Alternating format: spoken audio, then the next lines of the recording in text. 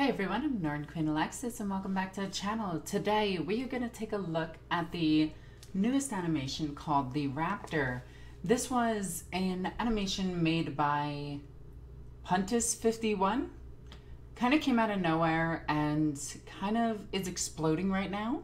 So I thought we would take a look at it. So let's throw our headset on. There we go. And let's take a look at this. Okay. So before we start, I am going to watch the entire video first. Then I'm going to watch it again, but pause it and break it down to see what's on the screen.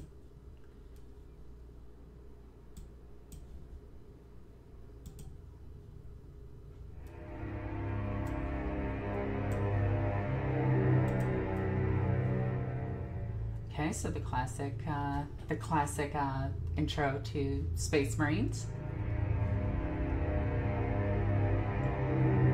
Incense and everything. Neato. Bunch of candles, definitely setting a good atmosphere of industrial plus occult.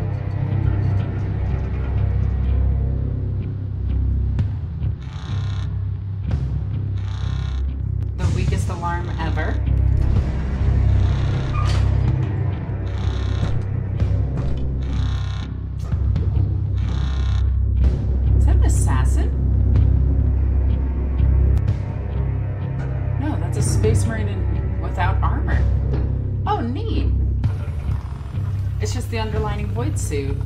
Oh, that Priest looked cool as hell. Okay, they straight up stole the scene from uh, Iron Man. His head is gigantic.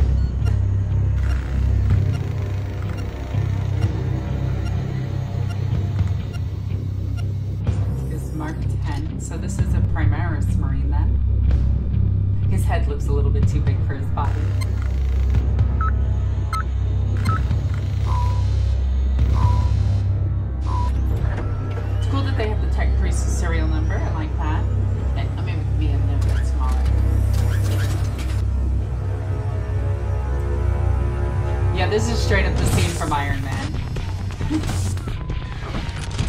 Yeah, it even has the little interlock. Oh my god, it is. I'm not saying that's a bad thing, by the way.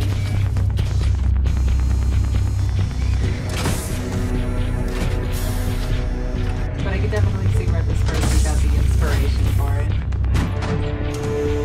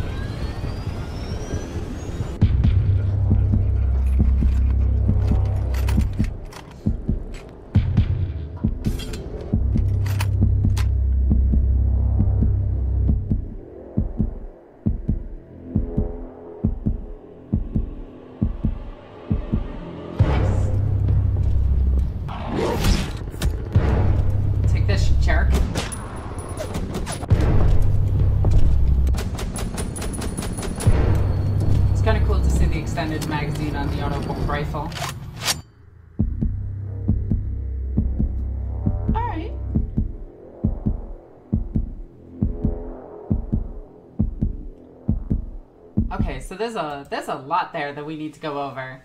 Okay, so so let's take it scene by scene. So more than likely this is aboard a ship uh, I would actually probably say like oh, Space Marines only have three classes of ship. They have their fr uh, frigates, they have their light cruisers, and then they have their heavy cruisers. Then they have their battle barges. So four, four classes of ship. I would actually have to say that this isn't a battle barge because of how condensed it is. So there's that. I do like the incense and everything burning around all the candles. So this is definitely where the uh, the uh, Mechanicus hang out. This scene right here is it's good just for like a screensaver. This is amazing. This is a good background. This is very well done. I really enjoy this. So let's take a look. Got that alarm again, the alarm again. Mostly we just wanted to take a look at the um the marine. And I do feel like his head is a bit too fat, but that's just me. Again, there's no standard human in 40k since humans come from a million different worlds as well as being voidborn. The standardized human is basically just a genetic thing that you have to match because um, some humans can be upwards of nine foot tall if they're void born. Some humans can actually be like three feet tall because of high gravity worlds.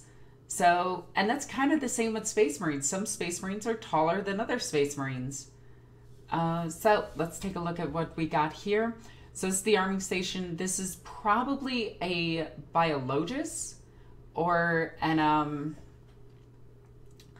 I wouldn't say it's a tech priest per se. Well, it is a tech priest, obviously, but I think that they're probably biologists because they're taking care of him himself versus just his armor. Got my hot chocolate. The walking animation is pretty good. I do really like this. This looks like it was ripped straight from the Mechanicus game. So very well done. We have the Omni specs in his eyes, which I really like. This gives him the ability to see, or them the ability to see thermal, uh, night, as well as uh, different colors. Um, and by that I mean different colors than your three primary. So they can see like eight different colors as their primary, so they see the world different than us. And the other one is just a basic augmetic with um, the ability to zoom and enhance all images. I do like the servo arm. I think it's really cool. Actually, this is probably just an arming tech priest, just thinking about it. But this scene, this scene is straight out of Iron Man. Like, I guarantee I can find this. Like, hang on. Hang on.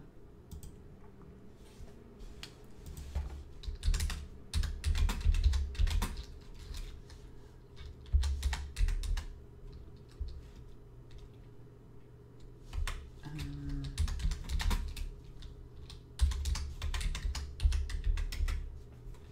Whoops. Villagers have been forced to take shelter in Like- whatever like- dwellings they can find. Where is this the arming scene? I don't want to get a copyright strike. So.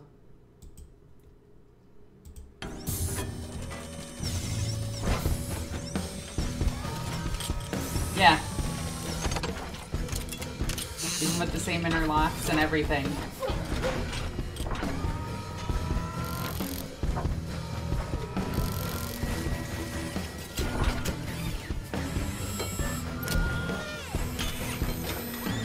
I love this scene, by the way. It was one of my favorites. So I guarantee that was the inspiration for this.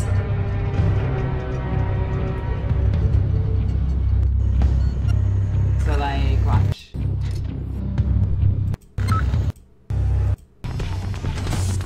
Yeah, you could definitely tell that it was it was inspired by this. But that's not a bad thing. I'm just pointing it out. I just think it's kind of neat.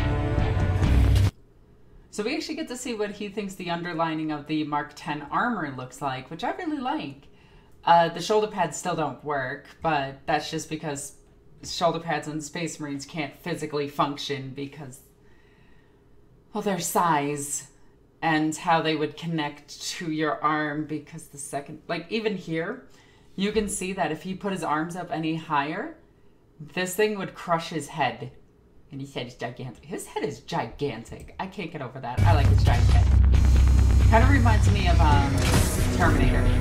Not Terminator, uh, Robocop. So this scene I wanted to point out a lot. I, I really like this. Like the, um, the backpack. So check this out real quick. Let's get to that backpack scene. So a lot of people don't know what this is actually for. They think it's just an external vent. This is actually a gyro stabilizing unit. This right here can actually throw the Space Marine a little bit faster. It's kind of like a jump pack, but micro. It can't prolong it, but it's mostly meant to keep the Space Marine balanced in low gravity worlds, on shifting worlds, and on things like that. The parts down here that you see, uh, if you can see my mouse, this is where all of the external venting comes from. And it's, in my opinion, it's one of the coolest things because gyro stabilization for something this big is going to be needed because if a space marine gets hit by a world being destroyed underneath their feet, it's going to throw them and they're going to die relatively quickly.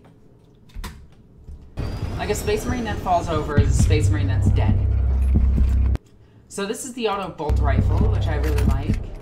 It's got an extended magazine. I do like his uh, adaptation or their adaptation of the actual bolter itself. Because like you can see that he's reloading the bolt shells themselves. They're a little bit too big, uh, considering I actually have corrected size bolter rounds. Uh, even for the auto bolt gun, they're a little bit big. But other than that, that's really accurate. I do like that he has the belt, uh, the utility belt off to the side here. And he has specs on his weapon. He has the knife in the background here. And I just, I like all of this stuff. It's really good world building.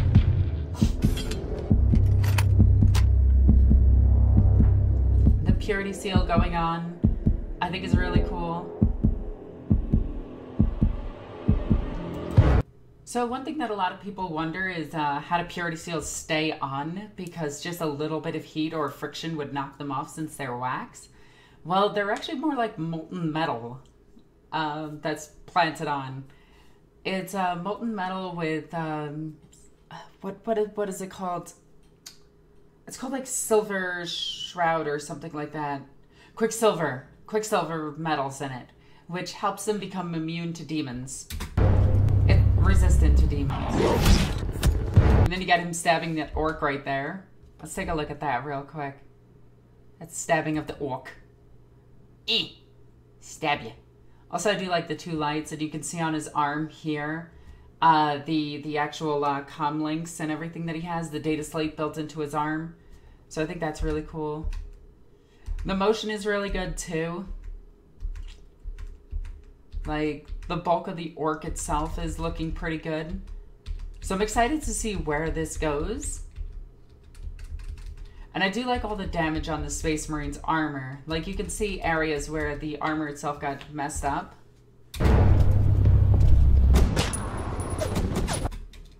This just looks really good. You can see the Space Marines actually aiming.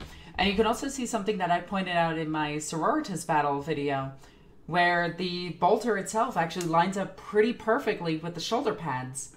And I could, I should should have been able to do a jump cut here to demonstrate it, but I am far too lazy to put on Sororitas armor just to show you this scene is possible when the scene is right here. I think the bolter itself, like a lot of people are going to talk about the fact that the bolter itself has no recoil. And this is true. Bolters don't have that much recoil. Like that, that would be it. That'd be it. They're a gas operated grenade launcher essentially that fires a gyrojet out of it. So at most it's going to have the same kickback of a at highest an RPG.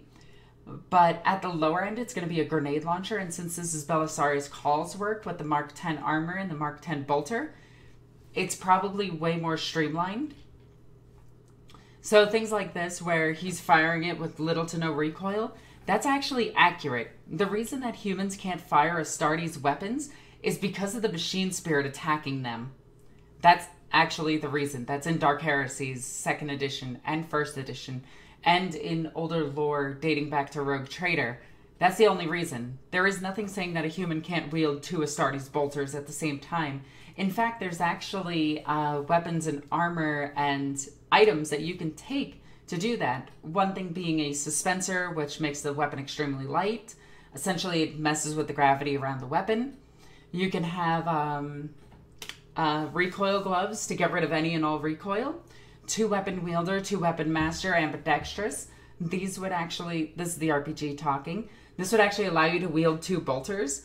And one of the scariest things in Dark Heresy is actually wielding two storm bolters.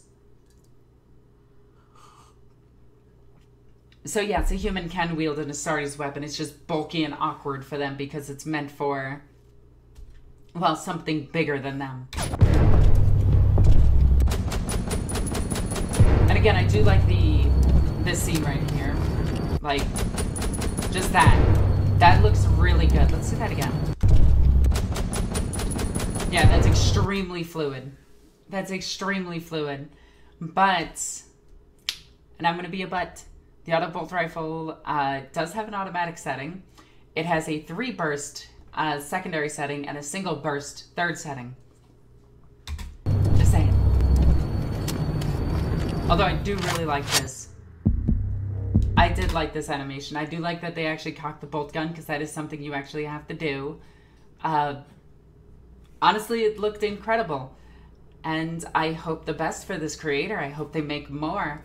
And I want to see like what they actually get into and see where this goes. So if you enjoyed this um, this reaction, there we go. If you enjoyed this reaction to this video, please hit that subscribe button. It's over here, right, right here. See, there it is. Okay, ring that bell for notifications, as well as checking out all the links in the description down below. You can follow me on all sorts of social media, including Twitch, Twitter, Instagram, Facebook. I might make a TikTok, but if you're super awesome, you can check out my Patreon. I have exclusive videos on there going over the old books on my shelves because a lot of people have been asking about that. So I finally sat down and just opened them up, and you can see my setup in the background. And yeah. So, as always, I'm Norn Queen Alexis. I love you guys. Bye.